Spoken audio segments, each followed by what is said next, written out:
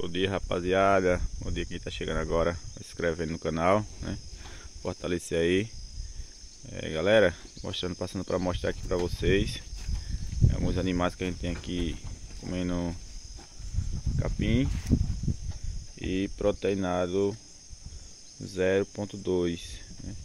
alguns animais aqui separados para fazer a adição de, de concentrado né ação colocando também aí um é, capim elefante ou capiaçu como alguns chamam aí em algumas regiões picado no forrageiro né? Picado no forrageiro e colocado em natura no coxo para dar para os animais.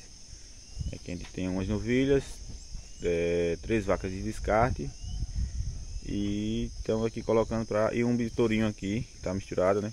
Nossa estrutura aqui é simples, tem muita tecnologia. E a gente coloca ração. Né? Cheguei agora, eles tinham cismado, né?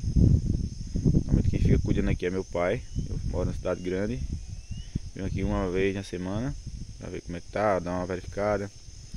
Normalmente os animais ficam porcarescos, né? Como não me verem sempre. Dá aqui um giro para vocês. Perto, tá? A claridade tá um pouquinho a questão do sol, né? Existem aqui. Tem uma vaca que tá bem magra, é uma vaca de descarte.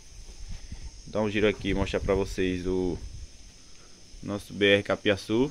Aqui com aproximadamente 60 dias que foi feito o corte. Né? todo aqui, essa área aqui. Já foi feito, tá com 60 dias de corte. Né? Tem uma outra área no parte de trás, né, que tá, com, tá sendo cortado.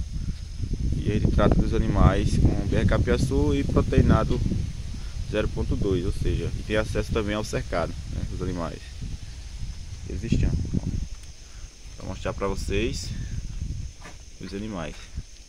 Tem o bezerro Aberdi Angus, novilha Nelore, uma vaca meio sangue Senepol que são para a gente dar um melhor acabamento e vender pro abate viu? quem tá chegando agora vamos fortalecer o canal se inscrevendo e é isso galera um abração aqueles que quiserem mais vídeos ó, faz um comentário aí embaixo que a gente vai dando ideia e vai fazendo alguma coisa abração aqui é o capim natura todos podem ver picado na forjeira